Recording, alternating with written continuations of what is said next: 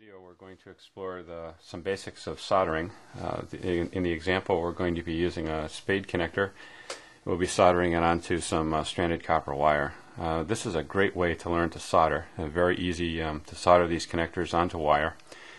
The connectors themselves are relatively inexpensive and you can just use some scrap pieces of wire to practice on.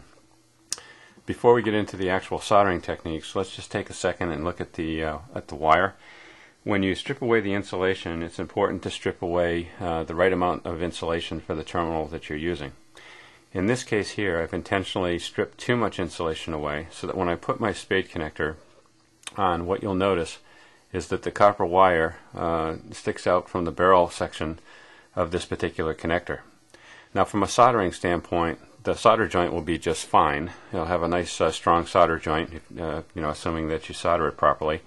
But what's going to happen here is when we go to uh, attach this uh, spade connector and this wire to a terminal block, uh, the, the, portion of the, the wire that is protruding beyond the barrel is going to actually interfere with the screw or the post on your terminal block. So you won't be able to uh, slide the, uh, the spade terminal all the way onto the terminal block. So it's important to, to strip away the right amount of insulation. Let's look at another piece of wire that I have here in this particular case, I've stripped away uh, about a quarter of an inch, maybe five sixteenths of an inch of insulation. And when we slip that same uh, uh, connector onto the onto the end of the wire, you'll notice that there's no uh, copper wire that's protruding beyond the barrel.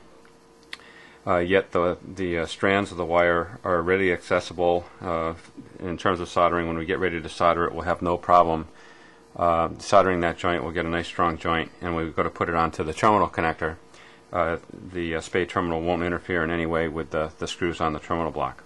All right, so let's um, let's look at the steps uh, to solder here. Uh, the first thing that we want to do is we want to prepare the, the wire uh, for soldering. Now in this case here, this is some liquid flux. You can also get this in paste form. This is rosin flux, very important if you're doing anything with electronics. Uh, don't use acid core flux like you would use for, for plumbing applications. Um, it will corrode the, uh, the copper, the, the joint, it'll fail over time. So I'm just going to take a brush uh, and I'm just going to dab a little bit of, uh, of my, uh, my rosin flux onto the wire. Now you may be thinking or asking yourself, you know, why is, why is Steve doing that? Why is uh, he applying flux? When the solder that I've purchased, it's rosin solder and it already has flux impregnated into it.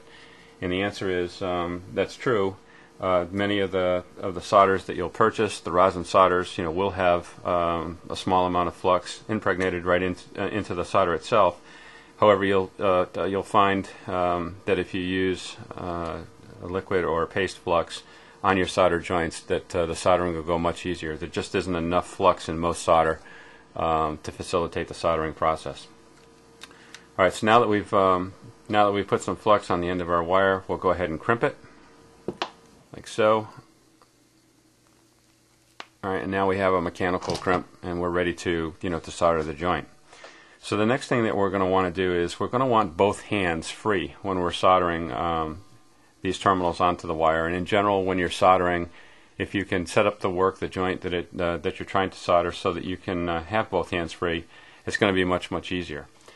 Uh, now, at electronic stores and so on, they make these little helping hands uh, type tools that you can purchase. They have uh, typically alligator clips that'll hold the wire securely and other uh, ele electrical components uh, when you're soldering. Um, I've used them in the past; they work just fine. Uh, but I prefer an arrangement that I've made up using a quick release clamp better. And the reason for that is I can I can actually um, with this jaw arrangement here I can actually clamp and secure multiple wires at one time, and then that way I can go down with my soldering. I can do it more in a production line type fashion. But to demonstrate this, I'll just use the clamp. This particular clamp came from Sears, by the way. Um, you know, down in the hardware section.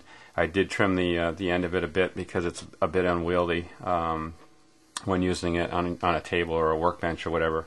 And I put some uh, some washers on the end of it to, to serve as a counterweight uh, to make sure that the clamp doesn't tip over when I'm, uh, I'm using it to, um, to solder.